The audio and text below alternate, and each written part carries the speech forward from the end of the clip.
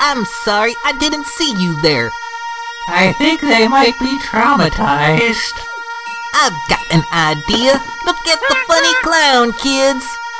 I don't think kids liked clowns in my day, or even before my day. Hey kids, it's Congy the Clown! Uncle Kong! You rang? All of my insides are screaming in terror.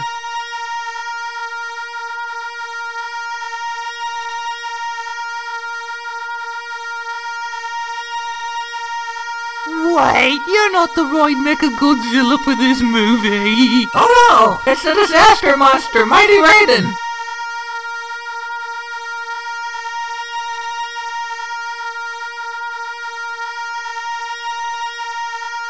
We would like to hire you. You mean for parties?